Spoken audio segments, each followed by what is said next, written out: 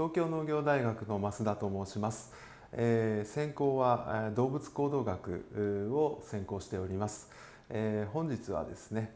愛犬という奇跡のパートナー目指せ100点飼い主という題目で講義をさせていただきます。どうぞよろしくお願いいたします。本講座の内容は犬の習性と特性についてお話をした後しつけのちょっとしたコツについて触れていきます、えそして、えさらに普段の生活で気をつけたい犬との関係の作り方、えそして犬を飼うこととは一体どんなことなのか、えという自分の考えを、え紹介させていただきます。まず最初に犬という動物について触れたいと思います。習性と特性について特に触れていきます。体の特徴行動の特徴そして人との関係の特徴などを紹介していきます。犬の体まずは骨格について触れていきたいと思います。私たち人間ともちろん犬という動物は骨格がまるで違います、え特徴もまるで違うわけですが具体的にはどんなことが違うでしょうか。まず一つ犬という動物の特徴として鎖骨と呼ばれるところがありません。私たち人間は鎖骨と上腕骨そして肩甲骨の3種類の骨によって肩の関節が作られていますが犬には鎖骨がないのでその分前足は前後にしか動きません。えー、もちろん多少の遊びはありますので、えー、左右にも少しは動きますけれども、えー、前後に動くことを得意とすることで走るのが速いというふうに考えることもできます。彼らは非常に足が速いですけれどもこちら示したスライドはですね右側の足が人の足左側の足が犬の足です中足骨という場所が地面にくっついた場所にあるかそうでないかで区別がつくと思いますけれども犬というのは基本つま先立ちです。そのおかげで足が速いという特徴があります。そしてですねあの後ろ足の付け根の部分ですけれどもここの靭帯が少ないために股関節がよく動くという特徴があります。えよく犬が、えー、よくそんな格好で寝てられるねというような形で後ろ足をこう伸ばしたまんまですね、えー、寝てる様子を見ることがあるかもしれません。えそれは、え股関節の靭帯が少ないからです。さらに、えー、彼らの聴覚について触れていきたいと思います、えー、聴覚人のおよそ6倍だと言われています、えー、例えば同じ車種の車だったとしても家族が乗っている車が帰ってきた時の音はすぐに聞き分けることができる、えこういった聴力の良さというのが犬の一つの特徴です。またよく聞こえる範囲も人間とは違っていますし、えー、非常に高い音まで聞こえます。例えば人間が聞こえなくて犬には聞こえる範囲にいわゆる犬笛の波長があります、えー、人間には大して聞こえないですけれども犬にはよく聞こえる。という特徴があります。さらに赤ん坊の鳴き声、えー、というのは、えー、スライドに示したような範囲で、えー、音がありますけれども、えー、この中にはあのたまに、えー、人を不快にする波長が含まれているそうなんですね。えー、ですのであの子育てをしておられるお母さんがあのたまに、えー、辛い気持ちになってしまう。ことがあるかもしれないけどそれはその波長が原因なのであってあなたが原因でないから気にすることはないよという素敵な論文が以前出たことがあります次に味覚ですえ残念ながら犬は味音痴です味を感じる細胞という未来という細胞がありますけれども例えば数に表すと犬では1706それに対して人は9000鶏に至っては24しかありません。えそして下の各部位で、えー、甘みや酸味など感じる場所が異なっています、え最も感じる味は甘みです。え犬は甘いものが大好きです、えしかしながら味音痴です、えその他の舌の役割としては舌を使って体温調節をしたり肛門の手入れをしたりする、まあ、そういった役割があります。えまた犬といえば嗅覚ですけれども、えー、訓練さえ積めば人の1億倍もの能力を発揮する。と言われています、えー、嗅覚というのは一般的な匂いは嗅覚系、えー、嗅細胞を介して、えー、感知していくわけですけれども、えー、動物が感じる匂いの中にはフェロモンというものがあります、えー、そのフェロモンは除尾系昔は副嗅覚系と呼ばれましたけどもその通路を介して、えー、感じる、えー、脳の中での処理のルートも異なるという特徴があります。えー、細胞匂いを感じる細胞は人の44倍もあるということで彼らの嗅覚の鋭さがうかがえます。さらに行動ですけれども、えー、犬のことで2000年を超えてから分かったことはたくさんあります、えー、例えば尻尾、えー、嬉しい時は尻尾を右側に大きく振るということが分かってきました。また逆に怖い時や困った時などは尻尾を左に小さめに振る。えー、そして自信がある時楽しい時は尻尾が上向きで逆に自信がない時やる気がない時は下に垂れていく。というような特徴が研究によって明らかになっています。また鼻も実は新たなことが分かっています。大体どんなものでもまずは右の鼻の穴を使って嗅ぐということが分かっています。そしてその匂いが慣れ親しんだ匂いや好きな匂いだということが分かった際にはだんだん嗅ぐために使う鼻の穴が左側にシフトしていく、えー、といったことが判明しています。さらに、舌の使い方水を飲む時の舌の使い方ですが、舌を下に折り曲げながらちょうどショベルカーのように手前に折り曲げながら、水をピチャピチャ喉に送るということが分かってきました。イメージではその逆に下を曲げてるように思いがちなんですけれども、え、よくよく調べてみると手前に折り曲げていると。いうことが分かってきました。しかしこの効率が非常に悪くてほとんどが漏れているということが分かりました。さらに喉に水を到達させるためにはこのピチャピチャ、舌を折り曲げる行動を4回以上繰り返さないと到達しない非常に効率の悪い水の飲み方をしているということが明らかになりました。基本の水の飲み方は猫も同じなのですが猫の場合は舌を水面ギリギリのところにつけて勢いよく引き抜くことで水柱を作りそれを優雅に見事に飲み込んでいるということが分かりました。飲み方のめあの使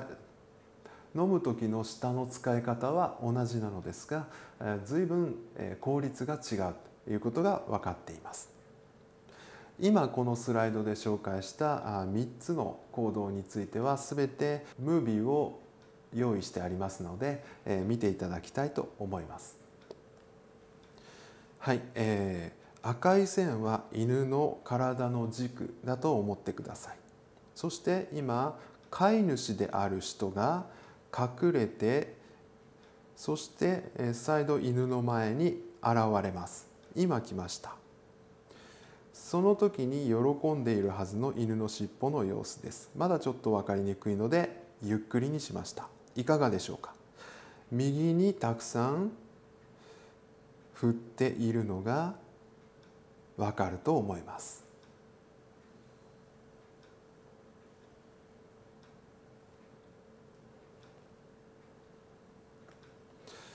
このように、えー、犬が出会った相手が例えば飼い主のような大好きな人であれば右へ80度超え左へ60度強といったような、右に大きく尻尾を振るということが分かってきました。一方で見知らぬ人であればその振り幅が小さくなり逆に支配的な見知らぬ犬である。場合には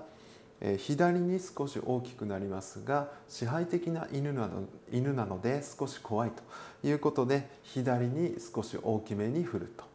そして対象が脅威でも何でもない猫の場合右に左に25度ずつ均等にという研究結果が2007年に明らかになっています。つまり振り幅が、え好きな相手であれば大きくなるし、え感情が伴わないような相手になった場合には小さくなっていくということです。さらに鼻の使い方について見て見ていただきましょう。はい、えー、スローにしてあります。右の鼻左の鼻。右左。といったふうにですね、まず鼻の穴を右左で使い分けていることですら初めてご存知になった方が多いのではないでしょうか。ビデオカメラで撮ってですねスロー再生をしてみるとはっきりと確認することができますのでお家にワンちゃんがいらっしゃる方は試してみるといいかもしれません次に下の使い方ですこれもスロー再生をするとよく確認ができます。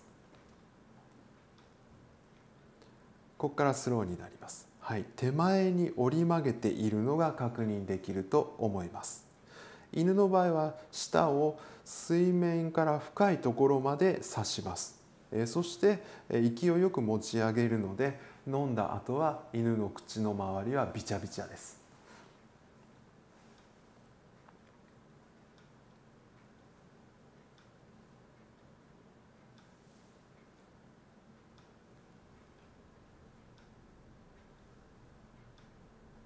えー、そしてこのボディーランゲージ、ですが犬はボディーランゲージ体全体を使って相手に自分の気持ちを一生懸命に伝えようとする、えー、そんな生き物です。えこれは、え、随分昔から言われてきたことなんですけれども、え、基本的に嬉しい時や、え、支配的な気持ちになった時には相手に対して自分ができるだけ大きく見えるように、え、体を整えていきます、そして自信がなくなった時降参した時服従した時などはできるだけ相手に対して自分が小さく見えるようにえー、私は小さな存在ですからいじめないでください。可愛がってください、えー、といった気持ちが伝わるように体の大きさを変えていきます、えー、ここに示しました図は通常の状態が左側、え興奮が伴って遊びに誘う時はどうぞ遊んでくださいという気持ちで自分を小さくするはずなんですがお尻のところは楽しい気持ちを表すために腰を高く上げて大きく尻尾を振るといったようなポーズになります。プレイボーと言われるポーズです。そしてそれがどうも違うぞと相手にちょっと脅威を感じ始めたぞという時には徐々に伏せの形に近づいていきます。それでもダメな場合は一番右側ですがひっくり返って自分の急所であるお腹を見せてもう一番弱いところを見せてるんだからこれ以上いじめないでください。と言ったようなポーズになっていきます。さらに下の方に行ってですね攻撃心が強くなっていくと尻尾を上に立て耳をピンと立てそして牙を見せえー、鼻面にしわを寄せる等々できるだけ自分が大きくそして攻撃をしたいと思っているんだよという気持ちを相手に伝えるようなポーズになります。しかしながら犬の場合ほとんどの場合喧嘩に発展することはありません、えー、こうやって相手に対して攻撃心の高ぶりを見せることでそれを見た相手が服従のポーズをとって喧嘩を避ける結果になるわけですね。非常に犬という動物が平和主義の生き物であるということがよくわかります。ここまで分かりましたよという犬のあれこれについて紹介していきたいと思います。犬はどれぐらい人間の言葉を覚えるんでしょうか？えー、大体ものの本を読むと200ぐらいは覚えられるだろうとえ言われていますが世界での最高記録は1022個ですえ。これを研究で明らかにしたものがあります。えおもちゃを1000個以上用意してですねそれぞれに違う名前を付けます。そしてその中の10個を取り出してきて犬に見せてどこかに隠します。そして、えー、特定の名前を呼んおもちゃの名前を呼んで、えー、じゃあアンディ取ってきてね。言うと見事にそのアンディと名の付けられたおもちゃを持ってくる。えといった形で言葉を覚えている。ということを検証しています。さらに他者から学ぶ模倣という行動があることが分かっています、えー、何かしら、えー、解決の仕方がわからない課題がある。それを解決の仕方を知っている犬が知らない犬たちの前で解決してみせるのを見ただけでそれまで解決方法を知らなかった犬は突然その課題を解決できるようになるといったことです。さらに他者と協力することができるということが明らかになっています。例えば引き出しに紐が1本通してあるえ2本出ているものを同時に引かないと引き出しが開かない。というようなものに気づいたら犬同士で協力をして2本を同時に引くといったようなことができることが分かっています。そして人を見分けることができます。例えばモニターに映っているのは知らない人。でもモニターからはご主人の声が聞こえる。そうなった場合に犬はえ、どうしてだろうという形なのか、え、モニターを見る時間が伸びるという現象が明らかになっています。これを期待違反、え、と呼びます。さらに、え、この辺りからが犬の可愛いところなんですが中におやつが入っていることが分かる箱を2種類用意して一方にはおやつが入っていない。両方を振ってみせてですねえどちらにおやつが入っているか犬は事前に知っているわけです。しかしおやつの入っていない箱の方を飼い主さんがこっちだよと指さすとそっちの方に行ってしまうと、え飼い主、え特に飼い主さん人のサインを信じてしまうといった特徴があります、えそして、え人に助けを求める行動をとるということが分かっています、え交互行使と言いますがえー、おやつが入っていることが見えている器がある。そこには厳重に蓋がしてあって自分の力で取り出すことはできない、えー、そうなると、えー、犬は飼い主さんとそのおやつの入った器を、え交互に見て飼い主さんに助けを求める。ということが分かっています。しかしながらこれはですね狼はしません。さらに日本犬もあまりしない。いうことが分かっています。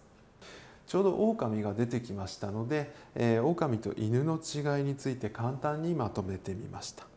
えー、例えばですね、えー、親犬があしつけの一環でよくやる、えー、マズル噛みえ鼻先を噛んで少し叱るという行動がありますが、えー、これ狼の方が多い。えー、そして遊びですが狼は成熟後はあまり遊びません。しかし犬は一生遊びます、えー、言い方を変えると遊びが一生必要な動物であるということができます。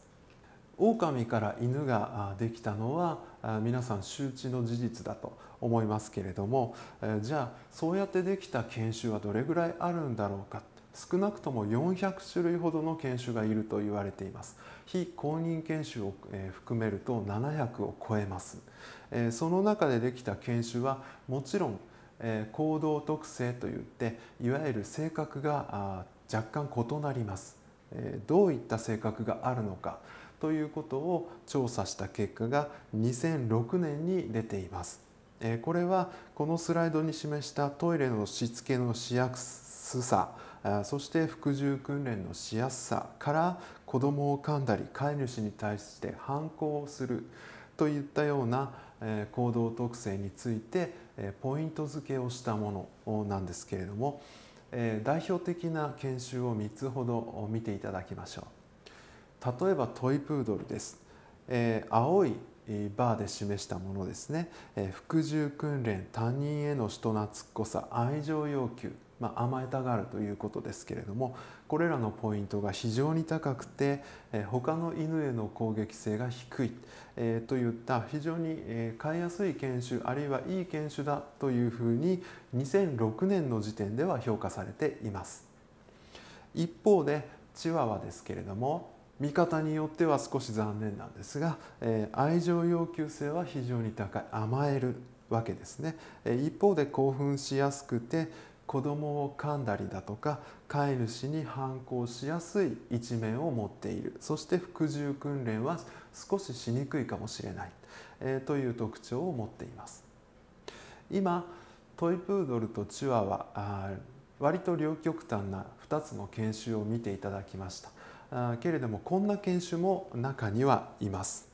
バセットハウンドという犬種がいます、えー、評価の結果では、えー全てにおいてポイントが非常に低いということがわかると思います。えー、すなわち、えー、少し言い換えてみると、えー、訓練に従わない懐かない甘えない遊ばない動かないといったような特徴が中には出てくるという犬種です。えただですね、えこれはえもし生まれてから何も人間がしつけを施さずに成長したらどうなる可能性が高いかということを調査したものであってこの犬種だから必ずこうなるとは限りません。人間がどれだけその犬と関わるかによって犬の行動はいくらでも変わってくるということを覚えておいていただければと思います。チワワだけれどもとってもいい子に育ったよというのは飼い主さんあなたの手柄です。それが良かったからとてもいい子に育ったんだ。いうことに自信を持っていただきたいと思います。さらに、えー、その特徴ですね、えー、もともと求められていた、えー、仕事の内容などで比較してみると柴犬とラブラドールレトリーバーでこのようにその特徴が全く異なるということがわかると思います。例えば柴犬はですねえー、子供を噛む他の犬への攻撃性縄張り防衛のしやすさ警戒方向まあ、警戒して吠えるということですがそういったポイントが非常に高くて、えー、番犬としてはとても向いている犬種だと、えー、そこでおそらく重宝されたんだろうという歴史が、えー、伺えます。一方でラブラドールレトリーバー日本では盲導犬の犬種として有名ですけれども、えー、長猟犬といって、えー、ハンターが撃った鳥を、えー、水辺撃って落ちた鳥を、えー、水辺に行って拾って帰ってくるといったような犬種ですけれども、えー、人間との関係の中でその能力を発揮していくために、えー、他人への人懐っこさとか訓練のしやすさ遊び好きであるとえー、言ったようなことが、えー、非常に高いポイントとなっています。えー、欧米の訓練の仕方がですね遊びの犬の遊びの延長で、えー、行っていたということが少し伺える結果になっているかもしれません。えー、続いて犬の気持ちについてお話をしたいと思います。犬というのは私たち人間と物事の考え方のメカニズムが少し異なります、えー、基本的には犬はその時々の状況を快不快で判断していきます。好きか嫌いかという要素が非常に大きく影響するわけですね、えーさらに犬のトレーニング性能が非常に高い。これはなぜかというと犬が順応性に富み適応能力が高いからです。そしてその中で飼い主さんとの関係は非常に重要になってきます。飼い主さんのサインを信じて行動する従うといった特徴だったりとか飼い主に助けを求めるといったような特徴があることは述べました。すなわちこの順応性適応能力の高さというのは飼い主さんの影響を多大に受けてその能力の発揮につながっているんだということです。少し、え、物事の考え方について、え、詳細に説明をしていきましょう。人はストーリーとして物事を考えるのが得意な動物です、えー、朝悪いことがあったけれども夜いいことがあったからその日はいい一日だと思うことができる。これが人間の、えー、記憶のメカニズムの特徴です。一方犬はそこをつなげることが少し苦手です、えー、いいことはいいこと悪いことは悪いこと。というふうに覚えていきます。すなわちその時々の状況を感情や五感と結びつけていくので断片的に覚えて快不快をその時々で区別しているという特徴があります。ではこの犬を幸せにするためにはどうすればいいか。その時々をいいこと悪いこととして判断している犬に対して行えることは全てのシーンを犬にとっていいことでぎゅうぎゅう詰めにしてあげることです。これがなかなか難しいと思われるかもしれませんがそんなに難しいことではありません。そのためのコツはいい状態を犬に対して探してあげること、えー、すなわちいい状態というのはどういう状態か、えー、後で述べます。えさらに苦手なことやものも遊びの延長で行えば、えいくら苦手なものでも遊んで覚えるのであれば、え苦手なものではなくなる可能性が高まります。これらのことをするために、えとてもいいのがしつけです、えしつけ、えというここ20年ぐらいで非常に飼い主さんの間で、え関心が高まってきた事項。なんですけれども覚えることと忘れないことという2つの観点で考えると覚えることの方が苦手です。つまり犬だって忘れるんです、えそしてしつけをする時に重要なことは正しい方法がたくさんあるんだということ。私は飼い主さんとその犬のペアの数だけ正解があると思っています、えそして、えーしつけをされていろんなことを覚えたからといってその後にですねしつけをされた犬の世界選手権世界選手権が待っているわけではありません。つまりその後に試験が待っているわけではありませんのでしつけでできたという基準は飼い主さんにとってこれぐらいでいいかなというレベルで構わないわけですね。すなわちそれでいいんだよの気持ちを犬に対して持つこと。えー、さらに、えー、この方法あんまり良くないなと、えー、判断する時期が、えー、犬の時期と飼い主さんの時期で異なることが多いのが現状です。ちょっとうまくいかないなと思ったらですねあと少しだけあと数日だけその方法を続けてみてください。案外その方法がその数日後に突然効果を発揮するということが多いのが現状です。何よりしつけというものが何のためにあるかというと犬の生活を安全に保つためにあ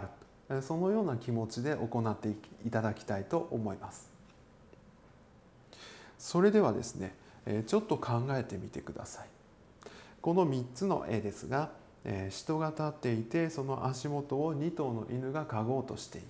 る。そして布団の上で犬がまったりくつろいでいる。そしてえー、何かの命令に応えて犬が激しく、えー、伏せの形になっている。この3つの絵の共通点は何でしょうか？答えはどれも問題がない状態です。先ほどいい状態とはという話をしました。普通に考えるとこのいい状態はこのスライドの中では命令に従って伏せをしているところだけだと思われるかもしれません。しかしながらこの3つの状態どれも悪い状態ではありません。すなわち犬に対していい状態というのは悪い状態でなければ全てがいいと思っていただければいいんです。そしてこの状態を褒めてあげます。そういい子だね。興奮させない程度にえー、穏やかに声をかけてあげてあげてください。そうするそういった生活を続けることで犬の中にはワクワクだとか安心大好きという気持ちが生まれてきます。すなわちその後のしつけが非常にしやすくなるわけです。えそして先ほど言いました覚えさせることの方が楽です、えもしすでに何か悪いことを覚えてしまっているということであればその逆の状態をいいこととして覚えさせてあげればいいということですね。そのしつけをスムーズに行うためにいろんな方法があります。これは、えー、コマンドといって命令を教える際の手順ですけれども私はこんな風にします。最初はさあ今日からしつけだから頑張んなきゃいけないと犬が思ってくれるわけがないので犬が夢中になるものを用意します。まずはおやつが大好き。おやつを用意します。そしておやつと同時に命令を出すということになら慣れさせます。さらに命令を出しているのはご主人だというふうに思わせます。最終的にはご主人がいるだけで嬉しいといった状況に持っていきます。この各ステップで犬の大好きという気持ちを崩さないようにします、えー、では具体的にどういうことかというと大好きなうちにその日のしつけはやめてしまうわけです。ゲームと一緒です。1日30分までと、えー、言われてるから次の日もしたくて毎日してしまうわけですね、はい。えー、好きなうちにすなわち飽きる前にその日のしつけは終わりにする。例えば私は犬のしつけをする時に1日1分もかけません。もう楽しいマックスの状態のところで終わりにするということです。では、えー、具体的に、えー、全ての飼い主さんに私たちはこれらのことを覚えてください、えー、というふうに、えー、お願いをしています、えー、何を飼い主さんに犬に対して教えていただくかというとお座り伏せ待ておいで。この4種類です。この4種類をこの順番で教えていきます。そしてどのように教えるかということを言葉に示したのがその右側に書いてあることです。お座りはおやつを見せるだけ。伏せはおやつにたどり着かせるだけ。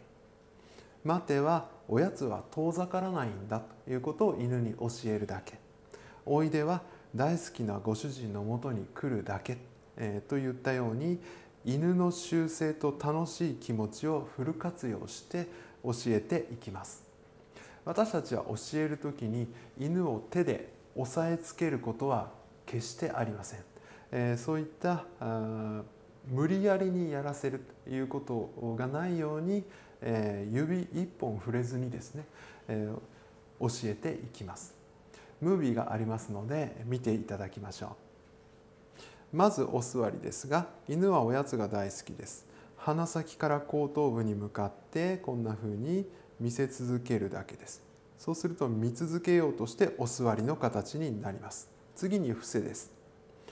膝でトンネルを作っておやつでその下を誘導させると。犬はおやつに行き着くためには膝のトンネルを伏せの形になって匍匐前進するしかない。すなわち伏せの形です。さらに待てです。おやつを持った手だ手の位置だけがそのままで人間が下がって人間が戻ってきたらもらえる。ということを教えていきます。まずお座りをさせて伏せと声をかけます。おやつの手だけはその位置のままです。人間だけが下がって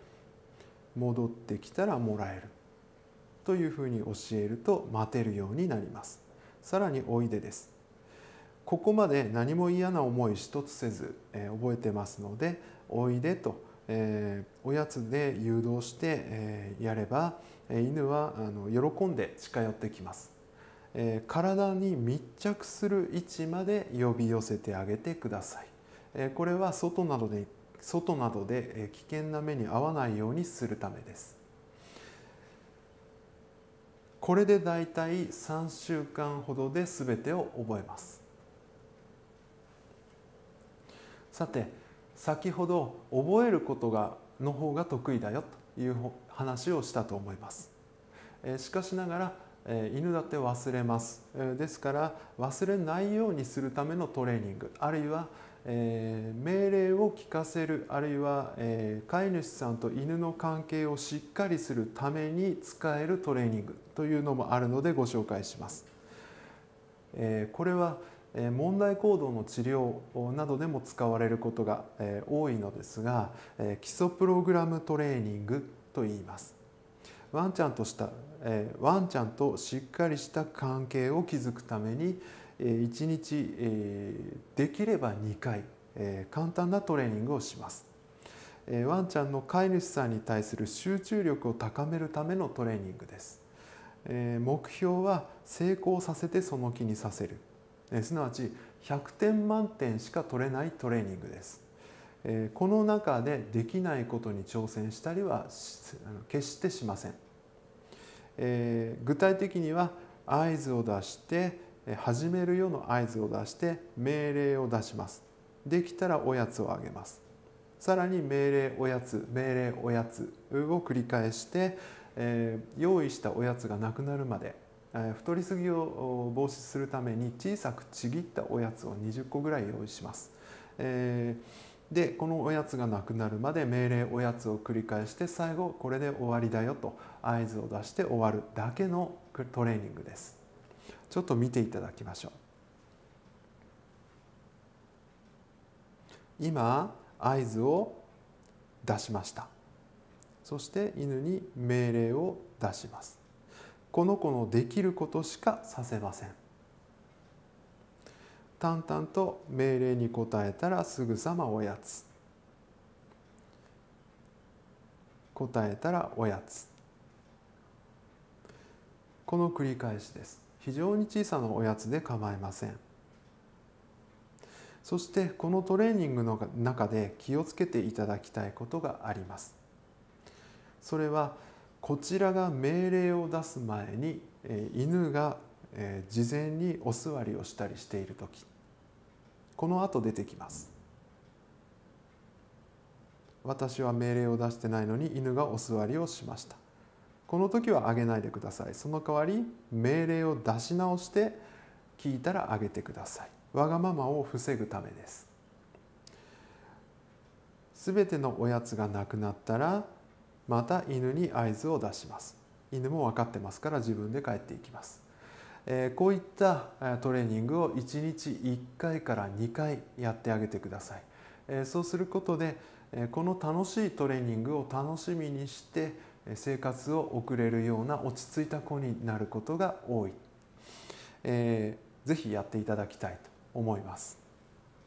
えそしてえしつけの基本は紹介しましたけれどもえそれ以外にですね普段の生活で気をつけておきたいことがたくさんあると思います。えその生活の中には必ず私たち飼い主という人間が犬には関わってきます。何らかの問題が起きるとしてもやはり飼い主さんとの関係が原因で起こることが多いのが現状です。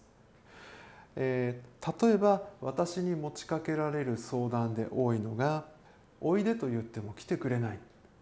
ということがあります。犬はですねえボディーランゲージのところでえお話をしたように、えー、服従の気持ちになると自分は小さくなりますし、えー、強気になると自分を大きく見せようとします。これを相手方に置き換えて考えてみると近寄ってくる相手が大きければそれは脅威ですし、えー、小さければ脅威ではないということになります。おいでで来てくれないという飼い主さん、えー、多くの場合こういったおいでをしてないでしょうか。おいでと前前のめりに犬に覆いかぶさる形になってしまっている。これが自分より大きな存在が突然こちらに覆いかぶさってきたというふうに犬に見えることがほとんどです。すなわち犬にはこんなふうに見えてるかもしれません。そこでじゃあどうすればいいか、えー、練習してみてください。犬が近寄る直前に一歩下がりながら前かがみになることを挑戦してみてください。一歩下がりながら前かがみっていうのはなかなかできませんすなわち、えー、犬に対して覆いかぶさることを防ぐことができますえこういった練習をしてみるといいかもしれません。あるいは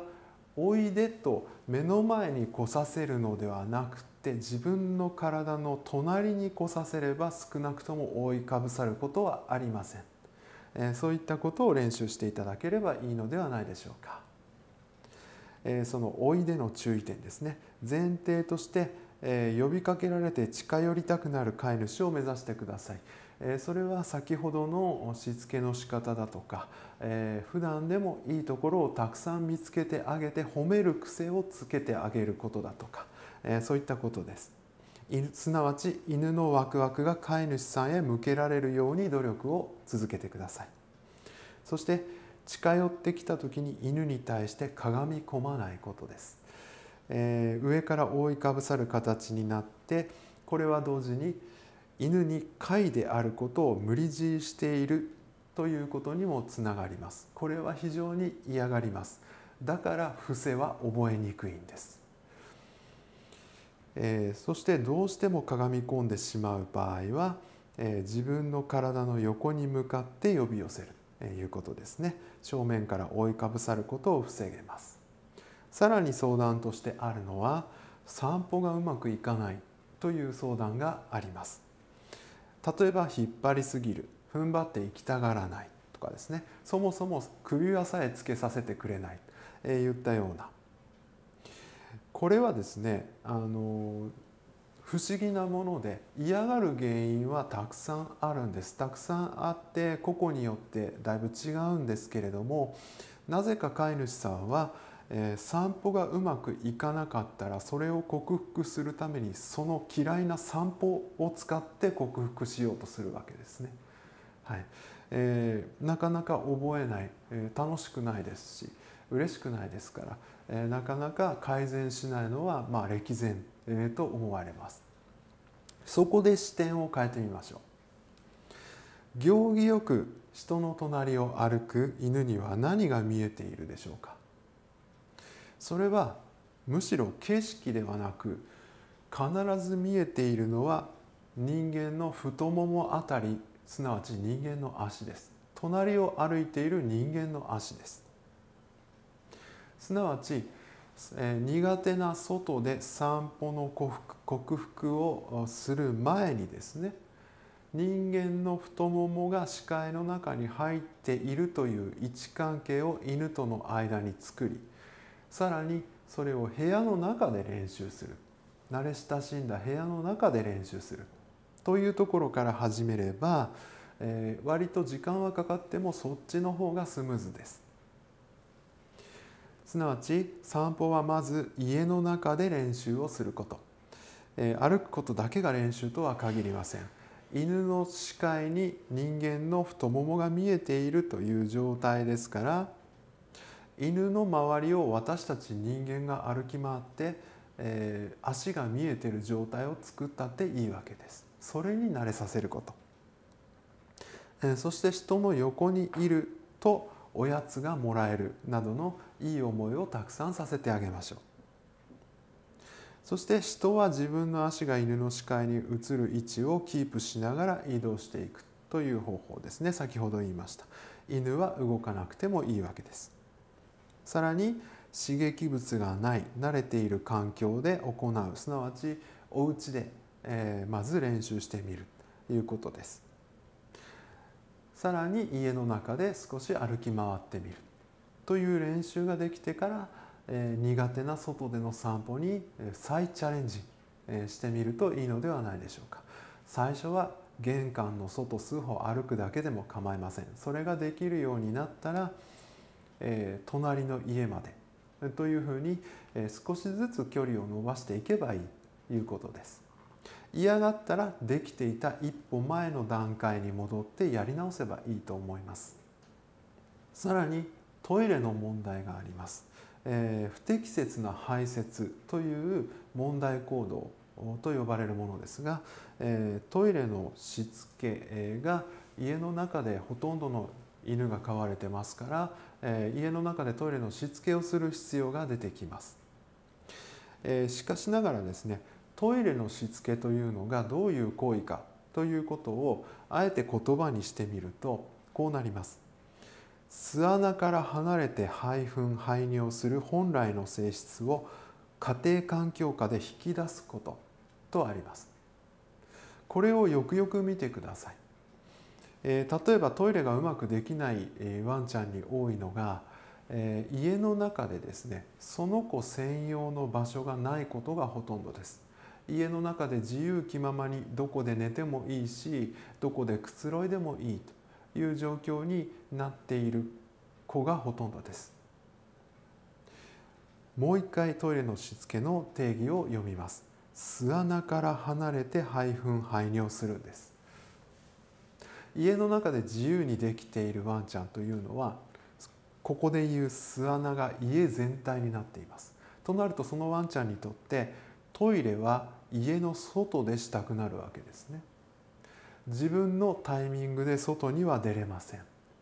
途中で我慢しきれなくなってあちこちでしちゃうという結果になることもあるんです。そこでまずトイレの解決をする前にその子専用の場所を作ってあげるわけですね。必要なことは犬が巣穴ねぐらを認識できることなんです。えー、一つクレートでも犬小屋でもいいんですけれども、えー、そういったもの持ち運べるものの方が便利です。それを一つどこか静かで、えー、少し暗めのところに用意してあげてですね、えー、そこがあなたの専用の場所なんだよということを教えてあげる。大好きなあなたのねぐらはここなんだよというふうに教えてあげます。かといって窮屈な思いをずっとさせなさいと言ってるわけではありません。その気になれば外にも出てこられるという場所にしてあげればいいわけです。何かあったらそこで落ち着いていられるという場所を一つ作ってあげてください。そして、え、そこでは安心できるという場所を作ってあげればいいわけです。そうすることで自分のねぐらが認識できます。その後はたとえそのねぐらの隣にトイレを置いたとしてもトイレは覚えやすくなっていることが多いというのが私の今までの経験上です。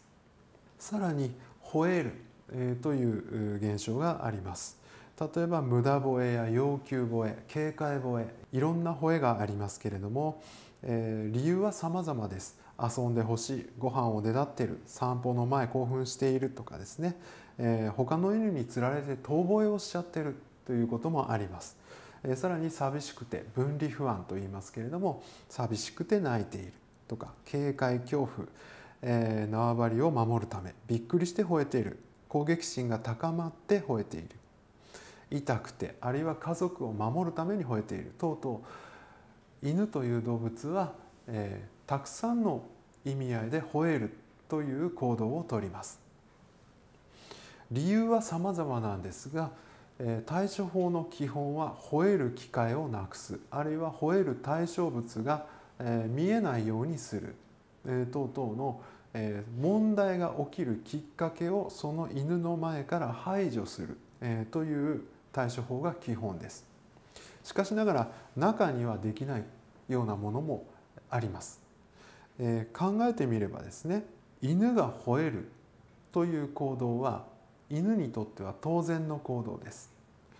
例えばそれが田舎の一軒家で吠えているのであれば、えー、番犬としての頼もしさを実感することにつながって感謝を犬に対してするかもしれません。しかしながら住んでいる場所が住宅地であればそろそろご近所の目が気になってきますね。さらに、えー、集合住宅であれば、えー、お隣への気兼ねでえー、ちょっといても立ってもいられないといった気持ちになるかもしれません。すなわち人が飼い主が住んでいる環境が変わることで犬が吠えるということへの深刻度もこんなに前後する。大きさが変わるということです。私たちの生活にとってどれぐらい犬が吠えるということが重大なことか、えー、飼い主さんによって全く異なると思いますけれども基本は吠える機械あるいは吠える対象物そういったものを犬の環境から排除する。見えなくしたり聞こえなくしたりですね。他の夢中になれるものを用意したりそういった工夫をしていただきたいと思います。トイレと吠えの注意点です、えまずトイレですがねぐらクレートなどを意識させるということ。え例えばそこをどうやってじゃあ好きな場所に安心できる場所にするんですかということなんですが、え簡単です。クレートの中におやつを投げ込んで、えそこに入ったらおやつがもらえるんだという経験をさせることから始めていきます、えクレートにおやつを投げ込み同時にハウスと声かけをします。クレートでいい思いをしていますからクレートへの愛着に変わっていきます。そうすることで次の段階としてねぐら以外の場所にあるトイレを認識できるようになりますさらにくつろげる場所として使ってあげますそうすることで犬にとっては怖い時には逃げ込む場所であり縄張りさらに縄張り自分が守るべき場所がそれまでは家全体だったのがそのクレートだけになってきますから、えー、来客への吠えが減っていくことが期待できます。えそしてハウスの習慣をつけるということは実はペットと一緒に災害時に避難する時に非常に役立ちます。えどこへ行ってもこの、えクレート、えあるいはあの持ち運び用のキャリーですねこれがあればうちの子は安心して待っていられますという状況にしとくと、え他人にも迷惑がかかりませんので、えいいことだらけです。えー、ぜひクレートを教えていただきたいと思います。そしてさらにですね、えー、これ何を書いてあるか分かるかあ分かりませんけれども、えー、その逆もセットで教えるということを私は常々犬に対して考えています。えー、例えば乗ってと降りてですね行けとおいでですね、えー、そういったふうに逆のものもついでに一緒に教える例えばうちの犬がソファーに乗っちゃって困ってるんですよいう飼い主さんがいます。乗ることは自分で勝手に覚えたわけです。でなんで降りてくれないかっていうと降りることがいいことにつながるというふうに覚えてないからです。乗って困るのであれば教え降りてを教えればいいんですけれどもこの2つ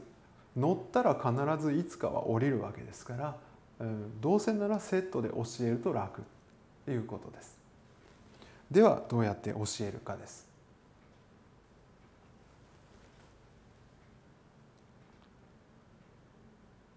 おやつでですね。ソファーなんかの上に誘導します。乗ってと声をかけながら。乗れたらおやつをあげます。次降りるを教えます。おやつで誘導させるだけです。これを何度か続けるだけですね。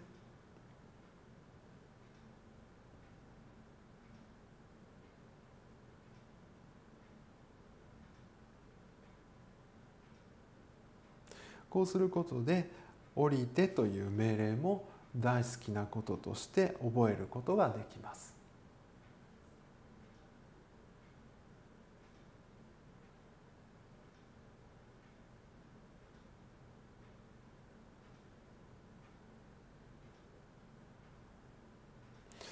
そして、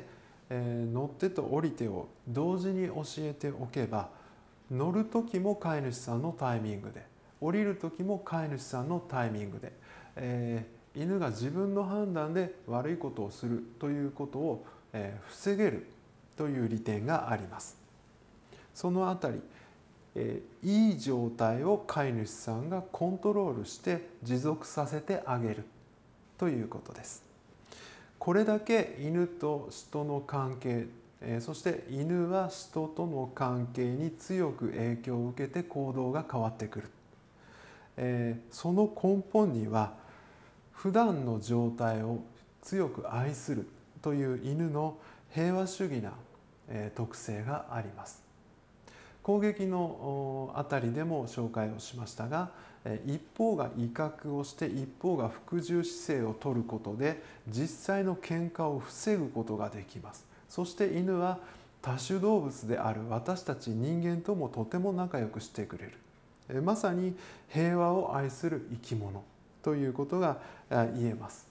その生き物と私たち人間が仲良く過ごしていくためには基本は褒める機会を飼い主さんがたくさん探してあげるということです。彼らの生涯を幸せでぎゅうぎゅう詰めにしてあげる。ことができたら素晴らしい飼い主さんだと思います。そしてこの犬を私は研究しているわけですがなんでこの犬を研究しているかということにちょっとお付き合いください。えー、もう数十年前になりますが小学校の時に校長先生が朝礼でですねこんなことを聞いてくれたことがあります。すべての生き物が仲良く暮らす地球を作るにはどうすればいいと思うか。えー、もう昭和の時代ですので、えー、そんな時にこんな質問なかなか出てこないと今思えば、えー、感じるんですけれども、えー、当時ですね、えー、何事にも疑問を持たずに生きていた子どもでしたので、えー、特に何にも考えませんでした。え、そして、え、時間が経つこと数十年、え、いろんなことを考えながら過ごして2017年か18年頃でした。え、元旦の新聞の朝刊にこんな特集があったんですね、え、おそらく生物多様性を守りましょうというその啓発特集だったと思うんですが地球の絵に絵の周りにですねいろんな動物のシルエットが乗っかっててその動物一つ一つを一言で説明しているという一面があったんです。でもちろん犬を研究してますから犬のところを見てみるとこう書いてありました。いろんな生き物と仲良くできる動物だと。でまさにその通りだなと、えー、理想的な平和のモデル動物であるというふうに考えるに至ったわけです。ところでえー、最近では SDGs という、えー、目標、えー、世界規模での目標ですね、えー、世界を変えるための17の目標というのがあります。いろんな課題があってそれを地球上の誰一人として取り残さないことを誓い誓った目標。これに向かって今世界中が動いているんですがこの SDGs の17番目最後の目標パートナーシップで目標を達成しようというのがあります。これができなければ全ての目標は達成できないと私は思っていますが、えー、なかなかですねそれぞれの地域や国の事情によって全員でうまく、えー、協力し合えないという課題が出てくることも十分に考えられます。そうなってくると人間にはお手本が必要になります。仲良くするためのお手本ですね。分野間の連携が必須と言われながら連携できない事情があるのであれば連携のためのお手本があればいい。すなわち犬です、えー、犬を知ることは地球全体を平和にするヒントをもたらすことにつながるんじゃないか。そんなふうに、えー、考えて仲良しの秘訣を犬に学び世界平和に役立てるために、えー、私は犬を今研究しています。まさに犬に学び犬に習う、といったことを実現するために犬の研究をしています。最後に、えー、犬を飼うこと、えについて自分の考え方をご紹介したいと思います、えー、犬の数はですね昨今少し飼育頭数が減ってきていますがまだまだ人気の高い、えー、伴侶動物であることは確かです。えそして、え犬を飼いたいと思って飼い始めるわけですが最初はだいたいこのくらい分かり合えないわけですね。あのもう何やってるか全然わからないお互いにですね何を感じているかがわからないそうなってくると犬は好き勝手にし始めるわけですね興味の向くままに人間にとってはそれしてほしくないんだろうけどなっていうこともしてしまうわけです。えーそれに対してようやく人間は焦り始めて、えいろんな苦労や工夫そして努力を積み重ねていきます。その工夫や努力の積み重ねというのは、えいつしか思い出となってですね、えー、素敵な出来事の思い出となって、え記憶に、えなっていくということです。でいつまでも続けばいいんですけれどもそんな生活にも必ず終わりはやってきます。これを受け入れるまではとっても大変な時期をほとんどの飼い主さんが過ごすと思います。このように犬を飼うというのは決していいことばかりではありません。でも私はこう思います。えー、よくいろんな人にですね犬を飼うゴールっていうのは何ですかいうふうに聞くことがあります。聞かれることもあります。そして私が聞いた時によく飼い主さんたちから聞く回答はですねここに書いてあります通り犬を最後まで責任を持って飼うこと。犬の最後をぜひ見とってあげてあげたい。というふうに犬の最後を見とってあげることだ。というふうにおっしゃる方がほとんどです。でも私はもう一つ聞きたい回答があります。それはいつか次の犬を飼いたいと思えることだというふうに説明をしています。なんでかというとその犬は生涯をかけてたくさんのことをあなたに教えてくれたじゃないですか。今まで言ってきたようにこんなに素敵な動物が一生をかけてまさに一生をかけて私たち人間に喜んで付き合ってくれたわけです。その結果愛犬を亡くしたあなた飼い主さんあなたには犬の生涯を幸せでいっぱいにした経験つまりそういう実力がついているんです。悲しみを乗り越えたら是非あの子が教えてくれた犬を幸せにする方法を今度は次の犬にお返ししてほしい。そんなふうに私は思っています。ただし覚えておいてください。次の犬新しい子は前の子と同じ子ではありません。前の子のやり方を新しい子にやってもうまくいかないこともあると思います。新たな工夫が必要になってきます。それが楽しいことを一度愛犬を亡くしたあなたは知っているはずです。私はこの犬という動物が奇跡の動物だと思っています。この奇跡の動物犬が私たち人間に付き合ってくれている理由は私たち人間もまた素敵な動物だからだということを私たちは示していきたいものだと思います。ということで、えー、犬の話にお付き合いいただきました、えー、どうもありがとうございました。これで終わりにします。